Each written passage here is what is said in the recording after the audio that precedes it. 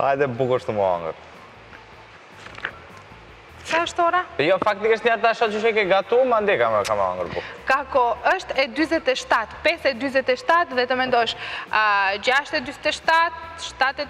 Euu, edhe dy orë e njëzet minuta përafërsisht ka iftari, kështu që... Si të është e shijshme, pres. E pret, e pret se s'bën, po. nuk të pyta unë. Okej, shkojmë me reportazhin e Delicious, me realizimin e paçës në kuzhinën e Lunch Bar Square 21, nga unë. Pak më ndryshe se sa ç'jam, po që okej. Përshëndetje miq të Pastel, siç më shihni, jam shumë ndryshe nga herat e tjera. Sot në rubrikën Delicious kemi vendosur që t'ju sjellim diçka e cila bëhet çdo natë në vaktin e iftarit. është fjala për paçën, ajo haje e cila zakonisht bëhet gjatë muajit të Ramazanit dhe është shumë e shijshme. Të shumtë janë ata të cilët thonë se okej, është e rëndë, bie rëndë në lukth e të tjera e tjera, mirëpo që është e shijshme, është e shijshme. Sot, Sipas mënyrës se si unë e përgatis në shtëpi, kur jam në shtëpi kam vendosur që ta sjell për gjithë ju. Dhe a, shkojmë gjithashtu dhe të shohim se cilët janë fillimisht përbërësit për realizimin e paçës. Ja ku i kemi të përgatitura të gjitha. A, fillimisht kemi marrë vezën. Është veza, një vezë, sepse do të bëjmë një sasi më të vogël normalisht. A, është mielli, ka deri në 3 lugë mesatare. të miellit dhe gjithashtu kemi dhe mëlmesat, ja ku kemi kripë, mëlmesa të përziera dhe gjithashtu edhe piper i zi. E normalisht këtu kemi dhe jogurti, pa cili nuk mund të paramendohet paça dhe këtë erëzën të cilën të shumtë janë ata të cilët nuk e pëlqejnë, po që i jep një shije ndryshe. Dhe për të thënë të drejtën, nëse nuk jeni pëlqyes të ngrënies të hudrës natyrale, Ka dhe mundësitë e tjera, siç është hudra e pluhurit, mënyrë që të mos ngecet diçka në dhëmbë apo diçka tjetër. Kemi pjatën e servirjes dhe kemi pak ujë të vënë, të cilën do ta ziejë më vonë, ku do të bëhet dhe paça, dhe normalisht që paça servohet edhe me gjalpë. Ja ku kemi gjalpën dhe piperin e kuq, i cili jep ngjyrë dhe e bën edhe më të shijshëm. Dhe tani, në ndërkohë, vëmë fillimisht vlimin e ujit,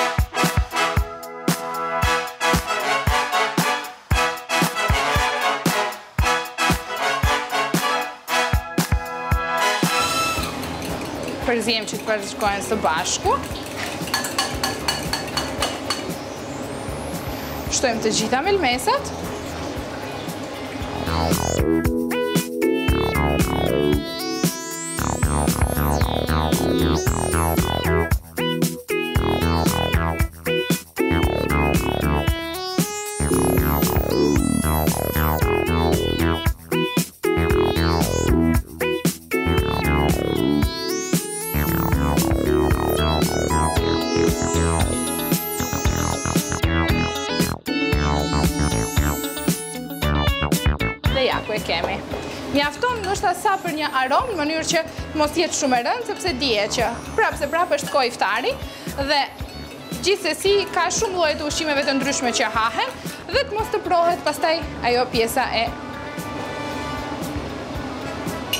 erës së hudrës. Dhe në fund, normalisht që kemi miellin. Gjithashtu paçja nga shumë njerëz preferohet edhe me Kos.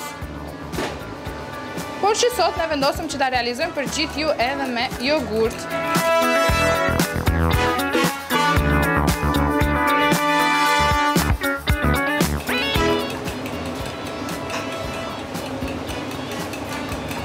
Në ndërkohë, shohim nëse kanë mbetur kokrra të miellit në mënyrë që të jetë sa më e mirë.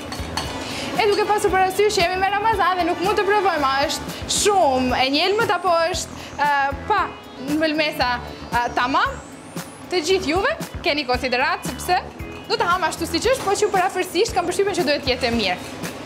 Dhe do duhet ta provojmë pas kohës së iftarit, sepse edhe pak ka ngelur derisa në momentin që po na shihni. Dhe është afër. Shkojmë e shohim ujin. Shohim që ende nuk ka valuar. Presim të njëjtin dhe më pastaj në vend të së njëjtit do të vëmë dhe gjalpin.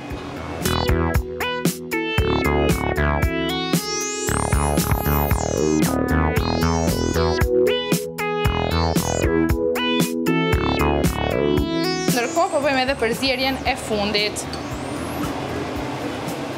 Këtë të shohim edhe si është puna me këtë.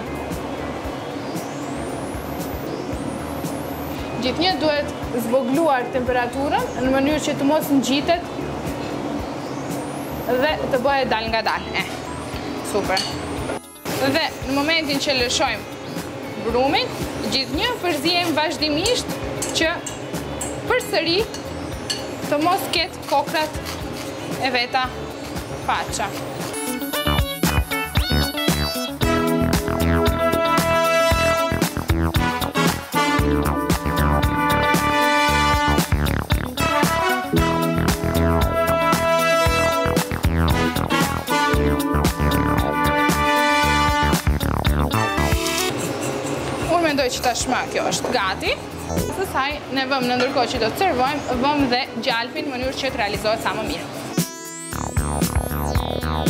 Servojmë Në pjatë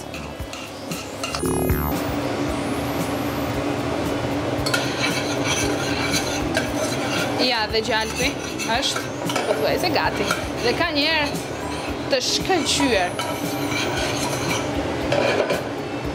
Lëmë dhe pak Që të gatiten mirë me piperin e kuq dhe gjithçka tjetër dhe normalisht që nuk mund të ikim nga vendi pa fikur zjarrin, sepse asnjëherë s'i dihet.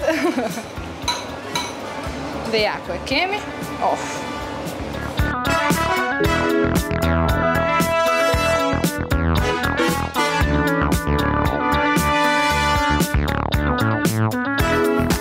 Ne do t'i vëmë edhe disa pjesë të ndryshme për dekor.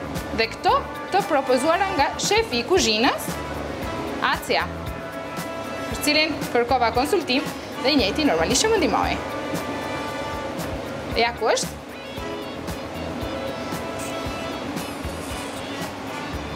Është shumë e shijshme, unë dhe gatimi realisht nuk është që kemi ndonjë lidhje shumë shumë shumë perfekte, po që gjithnjë tentativat nuk janë asnjëherë të këqija dhe asnjëherë nuk është vonë për të mësuar. Ja ku e kemi. Zoti ua pranoftë agjërimin dhe